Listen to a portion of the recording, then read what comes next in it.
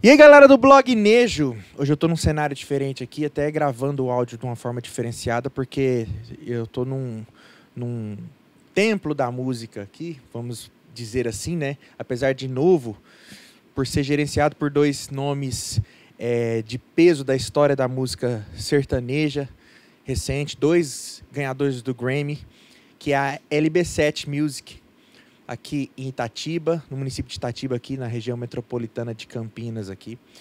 E vim aqui para gravar algumas entrevistas com alguns artistas que hoje estão sendo gerenciados pela LB7, que é a LB7 além do estúdio, gerenciado por esses dois nomes que também vão passar por aqui numa entrevista, que são ninguém menos que Luiz Gustavo Garcia e o Orlando Baron, que Luiz Gustavo, para quem não sabe, um dos baixistas, talvez o baixista mais respeitado da história da música sertaneja, arranjador, trabalhou com Chitãozinho Chororó há muitos anos, produtor musical, ganhador do Grammy com Chitãozinho Chororó.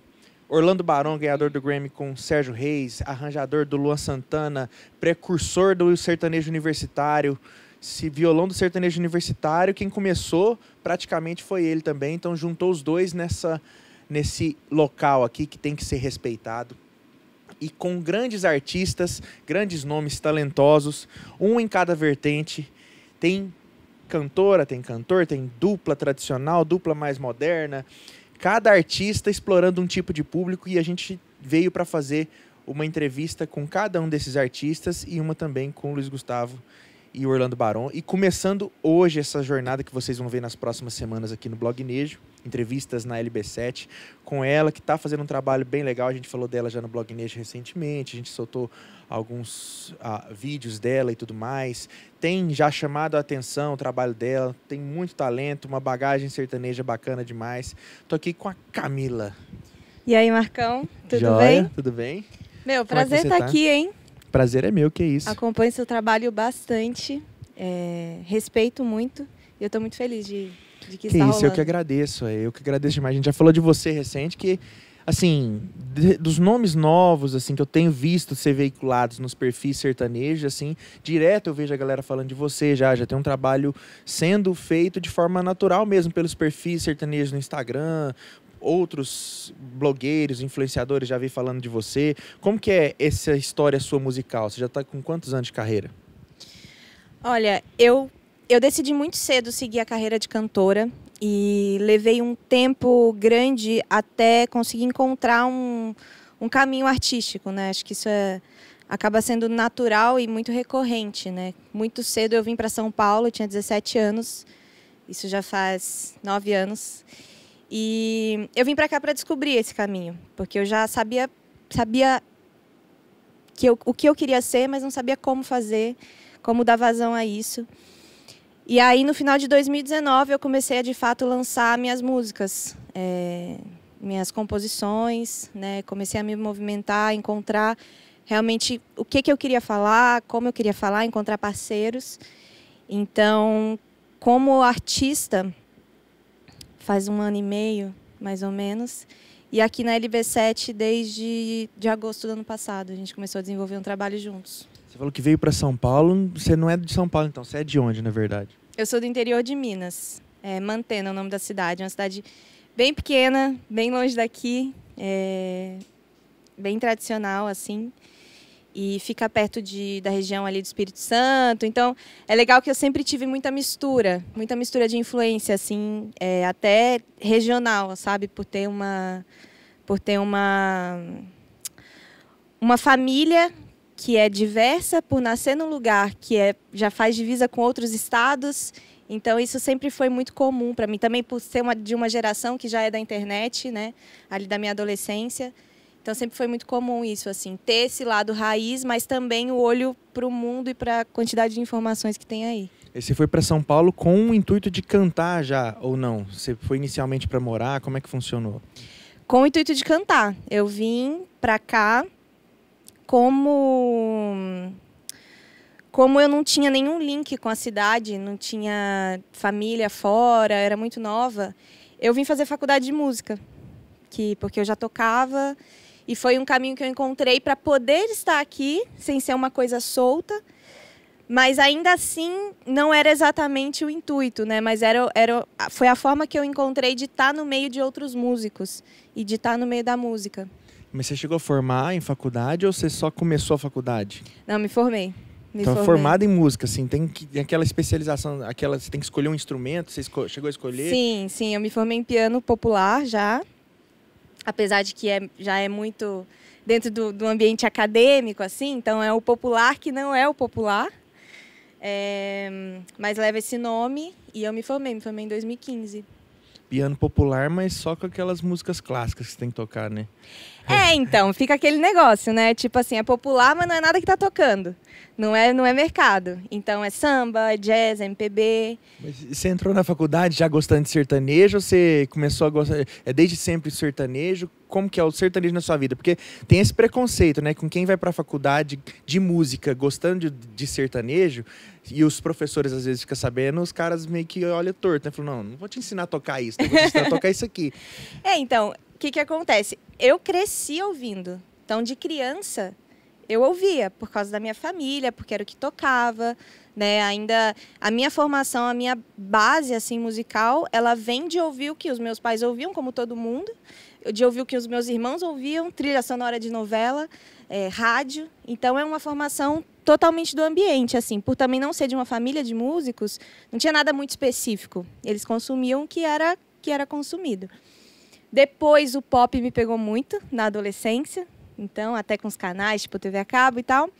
E na faculdade eu realmente mergulhei nesse mundo do, da, da MPB. Eu fiquei ali quatro anos focada nisso. Eu tinha ciência do preconceito. É... Cheguei a me a adotar um pouco até, para ser bem sincera, tipo essa coisa meio não, eu quero isso aqui, eu quero, quero fazer isso, eu gosto do instrumental também, porque eu gostava. E depois, com o tempo, eu só vi que eu perdia com isso, sabe? Eu acho que a, a música, ela não, não é... Não é time de futebol que você precisa escolher um lado. Você só perde se você... Eu acho que a gente faz escolhas do que a gente está sentindo mais no momento, tudo que a gente está curtindo mais no momento. Mas para ouvir, para curtir, para aprender, você pode ouvir qualquer coisa que você quiser. E cada, cada estilo tem o seu valor, sabe? E o mundo acadêmico da música tem, até hoje, carrega muito disso ainda, né? De separar demais, né? O popularzão do que é ensinado nas faculdades também, né? É, então. A galera não. É, é, poucos, assim, a gente vê. Tanto é que na música sertaneja, a gente for falar de músico formado, são é. poucos. E é comum até a gente ver produtor que se intitula maestro sem ser formado, por, só por produzir. Às vezes os maestros de verdade ficam grilados com esse tipo de coisa. É, eu acho que tudo que sai é, é, é muito estranho. Eu vejo, eu vejo o valor de você, tipo, é, estudar e aprender. É, não vejo valor em você julgar algo que está acontecendo. E é tipo. Você não pode questionar uma pessoa que faz música porque ela não, não tem a linguagem do acadêmico. Não faz o menor sentido. O lance da, do acadêmico é que ele está falando de uma coisa que já é garantido que é bom, porque historicamente é bom. Mas qual que é o valor de você? O preconceito não é acadêmico. Tipo, o preconceito é da pessoa, é do ser humano. Faz uma moda aí, então, para a gente já ver como é que é essa, essa, esse lado seu, é, misturando o erudito acadêmico com o sertanejo atual, assim, você consegue... Você quer uma mistura? Não, o que você quiser cantar aí para já começar mostrando para essa galera. Tá, deixa eu setar aqui. Eu vou fazer um trechinho dessa, que foi até uma música que eu... Que eu que eu acho que fala um pouco dessa mistura, tem um pouco a ver com essa mistura da meio MPB com, com sertanejo. E depois eu quero fazer uma mais a gente está trabalhando agora. Mas o nome dela é Coração Entende. Eu fiz ela hum, com alguns parceiros de composição, que é o Rafa Lucas e o Edu Moura, que foi muito legal. É, ter essa experiência de compor, eu fui descobrindo essa, esse mundo da composição depois também. Vou, vou cantar o início dela, que eu acho que mostra um pouco dessa mistura. Eu quero amar, quero brigar, fazer as pazes, pertencer, rir e chorar, morrer de raiva, perdoar e esquecer. Na aventura ou no tédio, eu quero tudo com você, com você. Mas se eu demorar, por favor, tem paciência, vai me amando devagar, que o resto é consequência. Se o beijo durar, o abraço encaixar e a gente se ama até de manhã. E na hora de se afastar, o peito apertar, é porque a gente é diferente. O coração entende. Se o beijo durar, o abraço encaixar e a gente se ama até de manhã. E na hora de se afastar, o peito apertar, é porque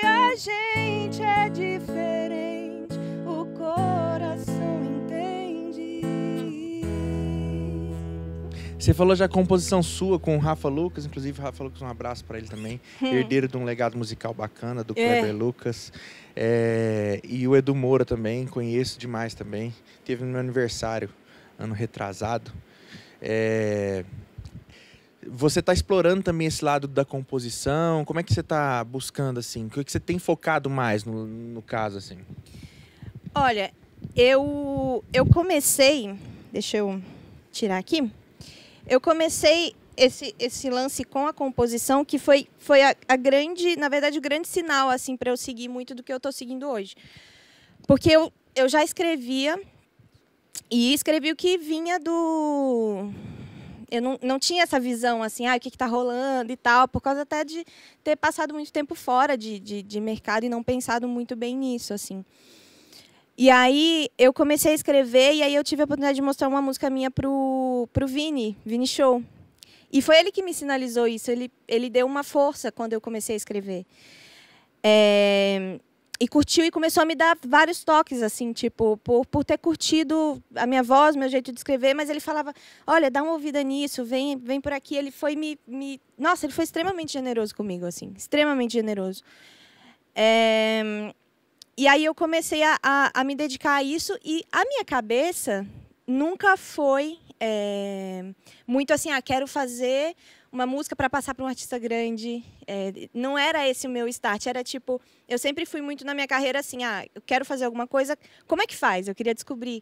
Então eu queria fazer música para mim, porque eu não tinha essa cabeça de tipo, ah, vou, vou procurar um compositor e vou comprar uma música. Eu, não, não era assim que eu que eu pensava. E daí eu fui aprender a compor. Então é, o início foi o start foi muito para isso. E eu sempre gostei de fazer as outras coisas também, né? Como artista independente, como, como eu era, eu fui descobrindo como lançar, fui, fui me virando, fui me virando muito. E aí nessa eu comecei a me dedicar. Só que depois, muitas vezes, como com, quando foi agora até no, no final do ano passado, que eu estava muito dedicada a essa parte de lançamento e fazer essa parte também de, de, de digital e tudo mais. E eu não estava focando em composição. E eu descobri, e eu estava ficando muito mal, assim. Então é algo que é necessário. Eu foco. Hoje eu também componho com outros artistas para tentar passar música para artistas grandes. Isso é um, um- algo que, que também é uma, uma prioridade para mim. Ajuda até a fazer um network, né? Ajuda Você a fazer. é, Compor para outros artistas ajuda a criar uma rede de contatos interessante. Ajuda, ajuda muito. A gente vê, tipo, tem vários exemplos, né, de artistas que, que são muito estourados em composição antes até de focar na própria carreira. É, e para mim é uma, é uma prioridade a parte artística de criação. Eu acho que até compor para outros artistas ajuda a, a para que eu me descubra melhor artisticamente. Acho que quanto mais você exercita esse, esse lado, mais natural você fica em se expressar. Gravações, assim, você começou a gravar já tem mais tempo ou você está começando por agora, mais recente, com gravações próprias? Como é que tem sido eh, os projetos na sua carreira, assim? Profissionalmente falando, você já tem quantos anos de carreira? É só um ano e meio? Ou, que nem você falou, quanto tempo exatamente você fala? Agora eu posso me considerar cantora profissional, estou cantando, estou lançando. Já tem quanto tempo? Então, é, eu, eu sempre, sempre gravei, fiz testes de lançamento e tal, mas eu, eu realmente, de fato, estou construindo um trabalho, fazendo uma sequência, dando uma continuidade, uma crescente desde o final de 2019. Que foi a primeira música que eu lancei, que é uma composição só minha, que chama Embriagados de Paixão, que deu start nessa, nessa, nisso que eu tô, que eu tô sentindo agora, sabe? Mas eu sempre acho que já, tipo, na, da minha geração sempre foi muito natural gravar. Então, até na faculdade, fazendo gravações. Mas vendo como, como artista mesmo, é, é esse desde o final de 2019. E já são quantas músicas? Você chegou a lançar um projeto completo já? Ou foram só singles, assim, que você tem lançado? Eu lancei primeiro cinco, uma série de cinco singles cinco singles. e agora é, eu produzi um DVD com seis faixas, que vai sair na íntegra no dia 24 de maio. É, dos, das seis faixas, duas já. Quatro já foram lançadas e duas inéditas. Então, eu, eu cost... Quatro das suas músicas que você já tinha gravado antes, no caso. Não, esse, esse ah, trabalho são, compos... é, são composições de, de, de terceiros, não são composições minhas. Foi tipo uma escolha de repertório que a gente fez aqui. Canta essa embriagada de paixão que você falou então, que você começou, você lembra como é que toca ela? Lembro. Pra galera ver aí. A primeira. A primeirinha. A primeirinha. A gente não se fala mais faz tanto tempo. Pensei que a gente ia voltar por um momento. E agora tá caindo a ficha. Você não tá mais na minha vida. Não tem mais beijo na sua boca. Isso tá doendo. Você já tá em outra. E eu tô sofrendo saudade a essa hora. É pior que veneno. A cabeça se ligou que acabou, mas o coração não tá entendendo. A bad bateu forte, deu nocaute no primeiro round. Dizem que o melhor remédio é o tempo. Mas já passou da hora de você voltar correndo. E beija minha boca, tira minha. Fazer amor no meu colchão, embriagado de paixão do seu jeito. Em frente ao espelho,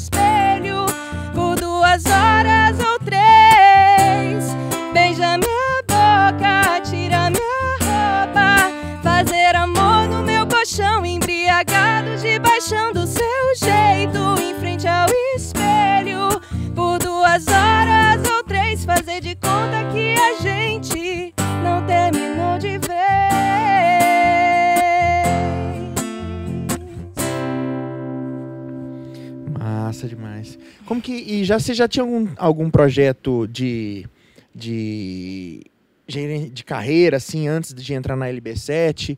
Como que foi conduzida a sua carreira até chegar esse momento aqui, até chegar essa parceria com a LB7? Então, eu fui descobrindo errando pra caramba, assim, é... mas muito. Antes até de.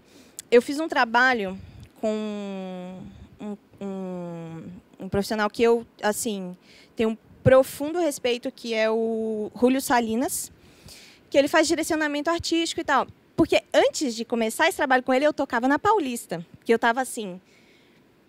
Na rua mesmo? Na rua, é, aquele lance, Paulista aberta e tal, leva a galera e toca. Porque eu estava muito assim, meu, o que, que eu faço? Eu nunca fui de ficar parada, tipo, para pensar no que, que eu ia fazer. Eu vou fazendo e vou tentando e vou é, fazendo as coisas, é, descobrindo o caminho. E aí eu tava assim, não entendia nada de, tipo, pensar no que estava rolando e tal, sei lá o quê. Cheguei e fui fazer uma consultoria com ele. Ele começou a me apresentar o, uh, a parte toda de mercado. A parte de, ah, são esses estilos, a linguagem, como que você faz, conexão com as pessoas, tudo isso. É muito louco pensar que eu, como artista, não, não, não tinha encontrado ninguém, eu não tinha esse olhar. Eu tinha um olhar só para música e sobre o que eu queria, mas eu não fazia essa, essa conexão. E aí ele foi me, me apresentando, olha, o movimento do pop, o movimento sertanejo, o movimento da, é, falando em mainstream, né, o movimento do funk. É, aí eu fui mostrando as minhas referências, a gente foi descobrindo. Ele me falou muito cedo sobre a importância da composição, a importância de não ter pressa como artista, de você você aceitar o processo você aceitar que às vezes você vai lançar e, e, e, não vai acontecer nada, e que você precisa continuar, e que às vezes vai, pode acontecer, mas você não conta com isso. O quanto você está colocando de verdade naquilo. Então, eu desenvolvi um trabalho de um ano e meio com ele, até eu chegar nesse ponto de produzir essas cinco músicas. É, até então, eu vinha numa outra pegada, fiz dois lançamentos ali, acabei que não, não senti que era o, o caminho. E aí, quando eu entrei, tipo, lancei Embriagados, quando eu levei para ele essa composição, ele me sinalizou. Ele falou: opa, eu acho que isso aqui é, é um caminho para você. E aí, eu fiz esse primeiro lançamento e eu só vinha focada no digital. Isso foi. É, esse lançamento foi dia 29 de novembro. Aí eu fui produzir mais quatro músicas, que já era o meu trabalho para trabalhar no, no ano seguinte. E ele sempre muito focado no digital que é mais a praia dele, né? Fazer frequência de lançamento com as redes é, nas redes sociais, né? Você criar tudo isso, tentar o networking. Ele já foi também me indicando para alguns campings. É, e aí eu fui, fiz mais um lançamento no início de 2020. Montei um show que eu queria começar a tocar. Comecei a fazer algumas participações com, com alguns cantores, assim, com, com uma galera para poder também, tipo, sentir esse lance de, de tocar, porque eu já toquei na noite, mas era outra, outra cena. E aí eu comecei a fazer isso. Muita gente foi muito, muito receptiva comigo. Eu fazia participações, colava, tal, tentava somar no que eu podia, porque quando você não tem uma, uma você oferece ajuda, você fala que, como é que eu posso somar com você, né? Tipo como, como gratidão assim. E aí eu montei o show, uma semana depois estava tudo fechado já. é o tal do 2020 que pegou todo mundo. Exatamente. E aí eu segui, é, nessa época eu estava com. Tinha uma, uma pessoa que supostamente seria um, um empresário para ajudar, e sempre, né? Muitas vezes dá muito errado. Mas o que, que acontece? É, eu fiz um planejamento junto ao empresário onde eu ia passar dois meses compondo Aí um mês ia selecionar repertório, tinha mais um mês para. Eu tinha um cronograma do ano, né, enquanto eu estava fazendo lançamentos. Então eu falei, ah, tenho quatro lançamentos para fazer esse ano, vai me segurar em material até agosto. E até lá eu tenho que desenrolar mais coisa, né? Porque são várias camadas, né? Tem o que está aparecendo para as pessoas, o que você está cozinhando e o que você vai fazer próximo. Então, é sempre assim. A partir do momento que você lança a primeira, você já tem pelo menos mais dois trabalhos para desenvolver enquanto ninguém está vendo. É, e aí eu tinha esse planejamento, então o lançamento eu estava garantida, né? Já tinha ali de, de músicas produzidas. Tinha quatro músicas, os lançamentos de 45, 45 dias e tal. A gente faz render como artista independente. E estava compondo para fazer material novo. Aí caiu, deu tudo errado com esse empresário. Eu fui pesquisar, né? E tal. E aí eu eu já conhecia eles como produtores, mas eu não sabia que tinha a LB7. E eu mandei uma mensagem no Instagram. Oi, então, tudo bem? Então, fiz aquele, aquela apresentação assim, ah, queria conversar sobre produções e tal. Me responderam alguns dias depois, graças a Deus. Aí, aí beleza, aí peguei o contato, eu lembro que eu falei primeiro com o Luiz, eles estão aqui. É, falei primeiro com o Luiz, e daí ficava aquela coisa, vamos, vamos, vamos. E eu, tipo assim, Mano do céu, eu tô, tô, no meu prazo de que eu preciso lançar, porque eu sempre tive essa consciência. Não, beleza, parceria é legal, mas você precisa ter o seu, né? Tipo assim, você não pode. Você tem que somar com as pessoas e não depender totalmente, né? E aí, graças a Deus, eu vim até aqui. É, sentei nesse sofá, só que estava ali, e a gente conversou, mostrei é, as minhas coisas, mostrei, mostrei que eu tocava, mostrei o repertório, mostrei o que eu já vinha fazendo, contei toda a minha história. Eles curtiram e a gente começou a desenvolver o trabalho juntos, assim. É, e, e foi, foi, foi assim, assim, tipo, eu lembro que no dia, primeiro dia que eu saí daqui, eu falei, mano, não acredito e tal. Será que vão ligar amanhã mesmo? Porque falaram, amanhã a gente te dá um toque, porque a gente vai pensar como fazer. Só que a gente sempre ouve muito isso, né? A gente, a gente te dá um toque, a gente liga amanhã. Só que ligaram, de fato, e aí a gente começou a, a desenhar é mais quando tudo. é mulher que o cara fica com mais medo ainda de falar não e magoar logo de cara, né? Será? Mulher, geralmente, acho que ouve mais assim, não, a gente vai te ligar. Homem, acho que os caras falam, ah, não rola, já de cara. mulher, acho que a galera fica com mais medo de falar não na cara, assim. É, tá, mas, mas é pior, devia falar na devia cara. Ser, ué. Porque aí você já resolve, fala, bom, não, não, então não, beleza. em frente, né? Exatamente. Mas bom que deu certo e e a partir daí já veio esse planejamento do DVD, como é que foi isso? Isso, aí a gente já começou eles são extremamente rápidos nisso, assim, na, essa parte de produção, de seleção de repertório, foi muito. A gente escolheu já duas músicas de cara para começar a entender um caminho. É, e aí já fizemos a gravação dessas duas, já tipo assim, duas semanas depois já, já tava acontecendo, sabe? Porque essa parte de estrutura de, de gravação e de vídeo e tal tá totalmente setada, a equipe tá aqui. Então é, é muito é muito rápido de acontecer. Então aí foi, foi selecionado esse repertório. Eu lembro que o, o Luiz me mandava bastante. É, fui conversando também, a gente foi, foi tentando pegar referências, né? Pegar, entender assim que tava o que, que ia fazer, né? Um artista novo. Eu lembro que os dois me ligaram um dia que estavam fazendo arranjo aqui também e tipo é, me mostrando, sabe, um pouco de tudo. Só que bateu muito assim. É, bateu muito musicalmente assim é, a, a vibe, sabe? Não foi um processo difícil de, de rolar, sabe? Tipo, foi algo bem, bem natural, bem tranquilo. Daí a gente fez essas seis músicas e aí partimos para a parte de, de, de desenhar a estratégia de lançamento. Vamos começar a mostrar algumas dessas músicas então que você fez aí? Já tá, já tá na ponta da língua já? Já. Vamos vou fazer, vou fazer colecionar ressaca, que foi lançado, nossa, nem sei que mês que foi, acho que foi novembro do ano passado. Essa música ela foi muito bem no, no Spotify. Ela entrou nessa geração sertaneja, eu lembro foi um puta, puta resultado massa. Ela pegou o Viral de Curitiba uma época. É, é uma música que chamou, performou muito bem nessa lá, principalmente. Nem faz uma semana, ele já disse que te ama. Como assim? Nem deu tempo de esquecer de mim.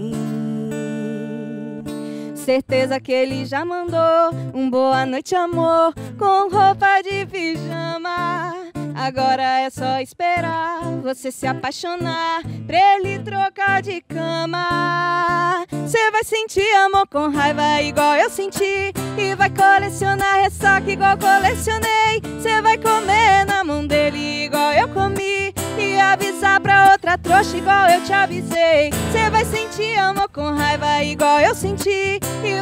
Colecionar ressaca igual colecionei. Você vai comer na mão dele igual eu comi. E avisar pra outra trouxa igual eu te avisei.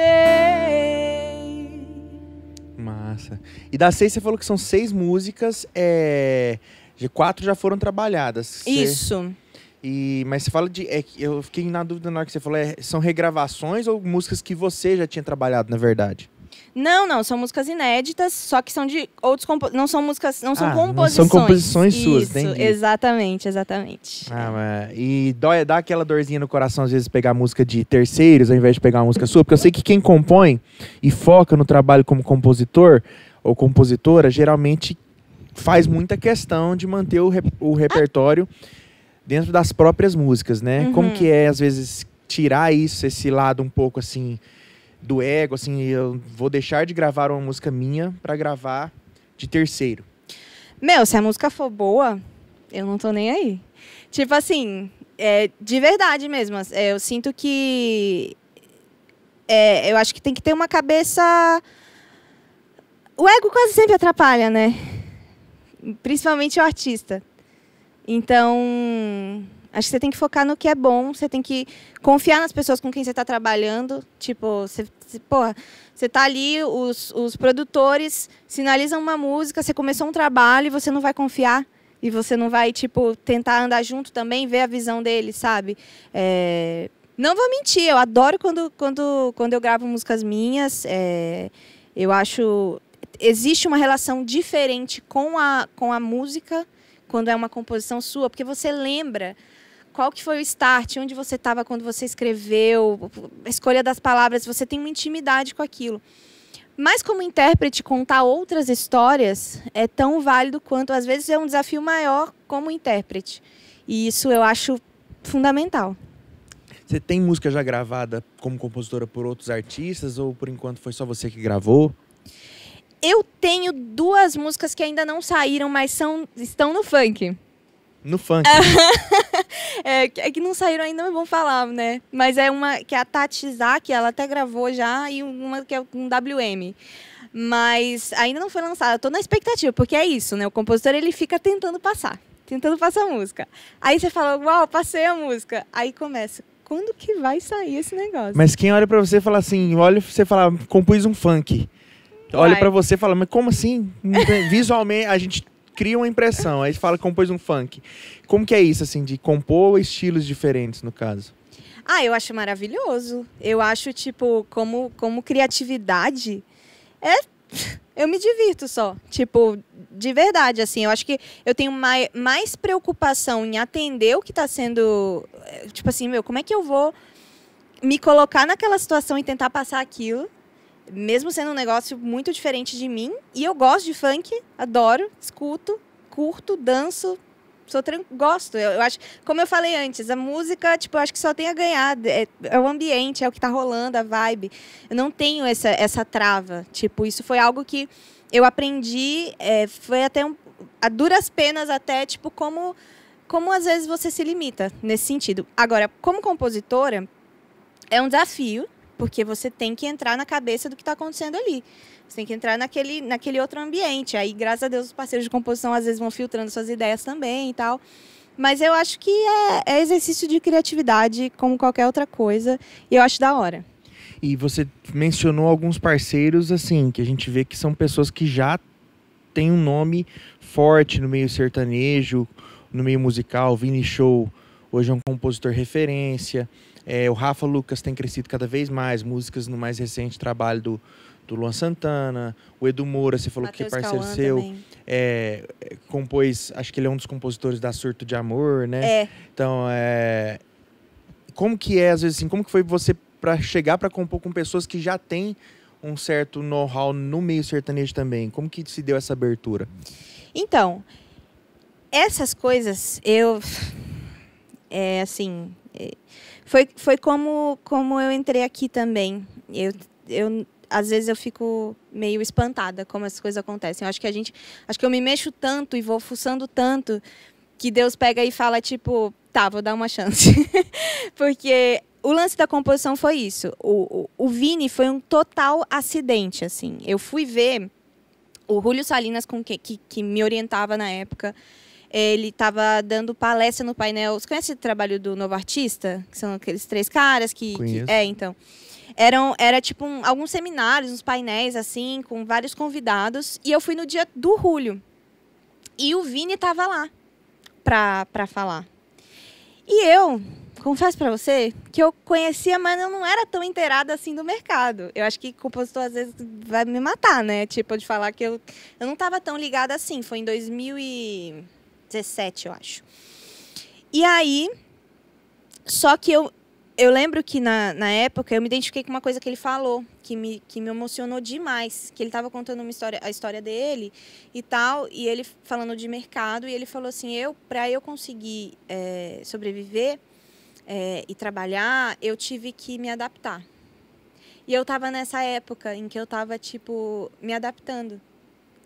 Tentando descobrir como que eu ia seguir com as coisas, sabe? Como que eu ia conseguir falar com as pessoas, como que eu ia colocar o que eu, o que eu tinha dentro de mim em contato com outras pessoas, porque apesar da gente ter muito padrão e ter muita coisa que se repete, a gente também tem uma sensação de ser muito único no que a gente quer falar. Então, ser compreendido como artista é uma busca, tipo, é uma coisa que você busca e vai tentando. Aí eu me identifiquei muito com aquilo e aquilo me emociona muito. E ele é um cara muito expansivo. Ele tem um, um- passou lá, falou: "Gente, me mandem músicas no Instagram e tal, sei lá o quê". Eu fiz isso, né? Na época eu não tinha música lançada, eu tinha duas músicas produzidas que eram numa vibe. Uma era meio com blues, assim, outra no pop. Duas composições minhas. É, E aí eu mandei pra ele. Quando eu mandei, mandei no Instagram. E aí, Vini, beleza e tal. Nossa, meu, muito obrigada.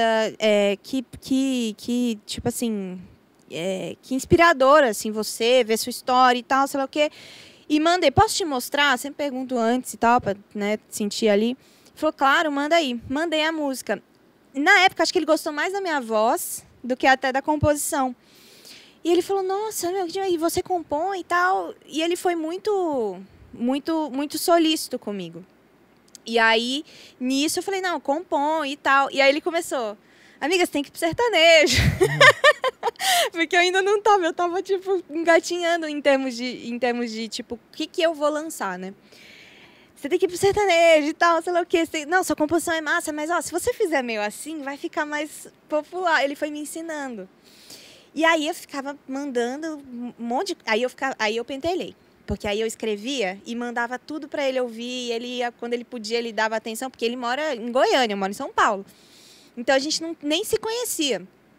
E aí ele foi afinando até que um dia eu mandei, acho que foi até embriagados. Porque ele falou assim, ó, vamos fazer o seguinte, eu vou. É, é, eu tinha mandado uma outra música que é Gosto Tanto, que eu até lancei depois. Ele falou, ó, sabe o que eu vou fazer? Eu vou.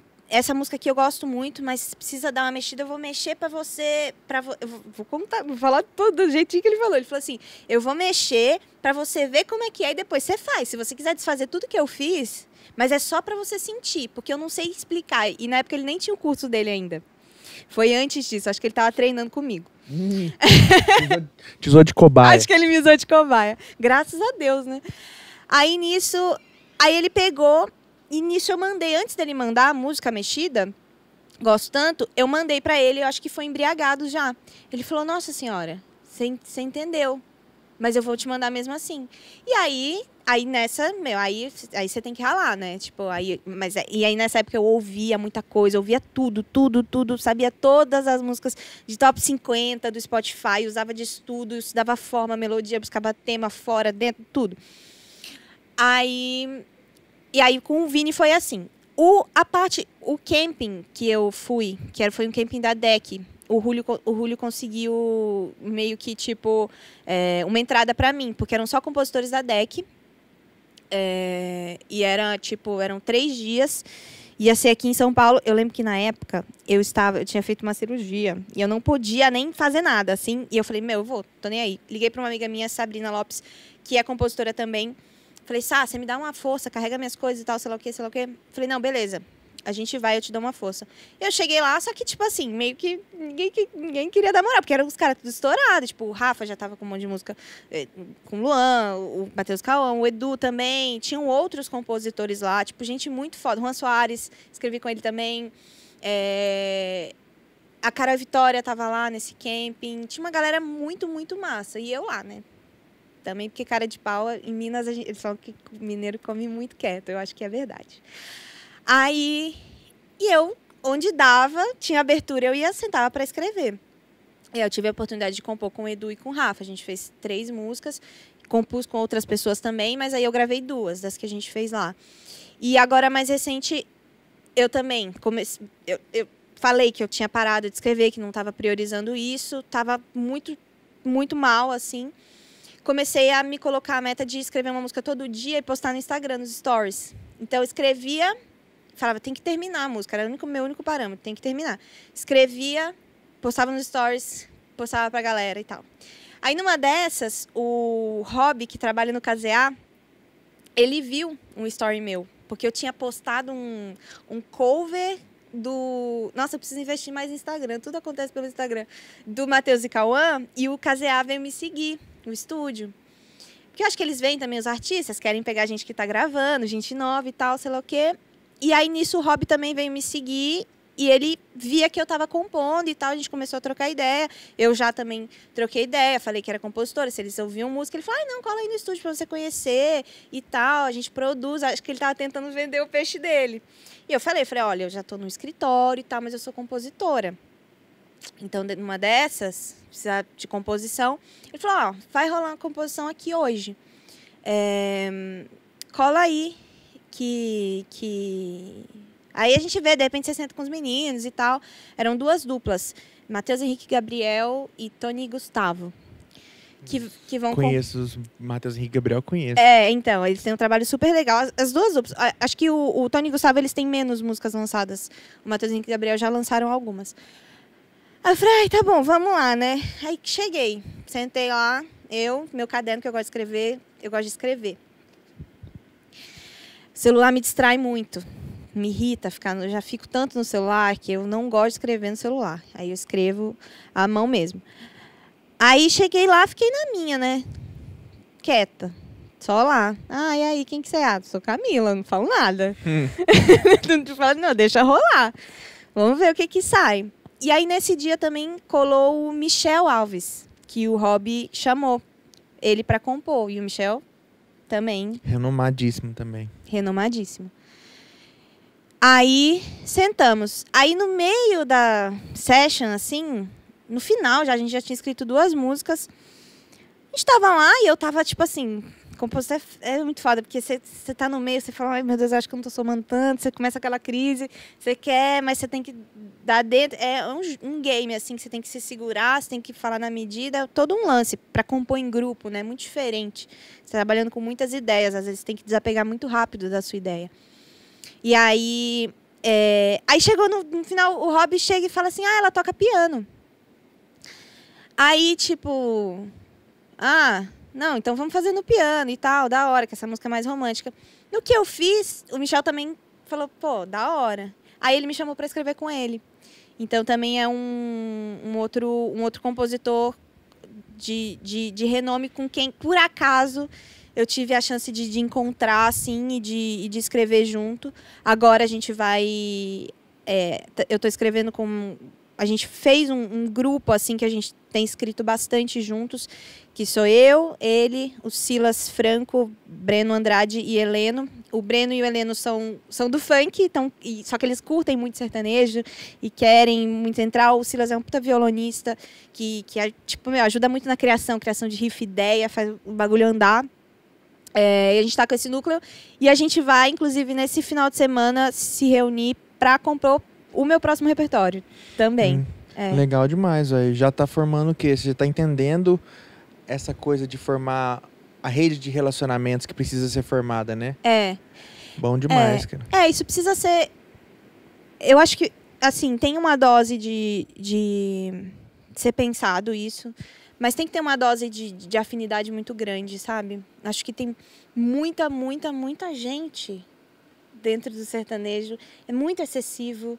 É, é, é competitivo, sabe? É, tem uma coisa que às vezes eu prefiro. Nem sei se eu tô certa, mas às vezes eu prefiro ficar na minha esperar. Não esperar. Eu faço o meu, faço em casa, treino, me dedico para na hora que rola uma, uma oportunidade, as coisas é, se destacarem de alguma forma. Assim, eu sempre penso em como eu posso somar. E ao mesmo tempo eu vou fazendo o meu sou independente, vou lançar independente. Tenho, vou, consigo montar um show, opa, vamos montar um show. Ah, consigo fazer assim? O importante é fazer. Eu, eu sou desse jeito. Tá certíssimo. Vamos fazer mais um alguma que tá para ser lançada aí do seu projeto, pra galera conhecer Vamos. dessas que você gravou mais recente? Vamos. Ai, Chama, eu queria fazer uma, mano. Chama o Barão, será que ele pode fazer com a gente? Ai, capaz. Ô, Ô Bru, chama o Barão pra ele fazer uma comigo. Entrou aqui agora esse caboclo aqui que vocês estão vendo aí, ó.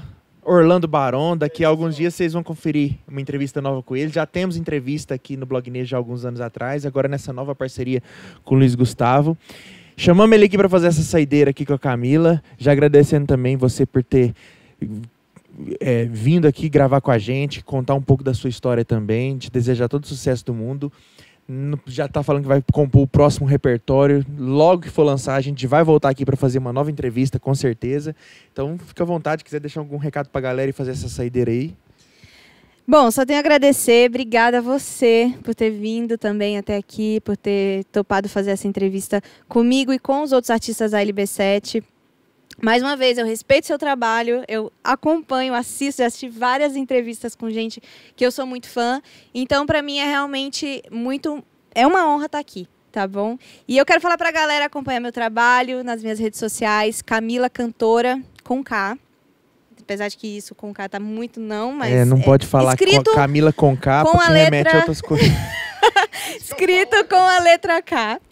É. É, e em breve o meu lançamento de. Não sei quando vai sair o vídeo, mas no dia 24 de maio, lançamento do DVD de hora em hora. E a gente vai fazer a música de hora em hora agora. É isso aí. Alô, cê tá bêbado de novo? Tá me ligando de fogo, querendo me encontrar. E aí, não achou outra mulher? pra cair no seu migué, pra você se distrair. Tá sozinho ainda porque procura imitação barata. O amor que você abriu mão acabou não fabricar mais não. Você perdeu edição limitada. Ele sabe o que separa homem dos meninos. Você festando, ele escolheu ficar comigo. Suas prioridades nunca me incluirão. Preocupa não que aqui tá tudo bem servido. Ele faz gostosinho comigo de hora em hora em hora. Eu vou desligar agora pra fazer amor. Ele faz gostosinho comigo de hora em hora em hora. Eu vou desligar agora pra fazer amor. Ele faz gostosinho comigo de hora em hora em hora. Eu vou desligar agora.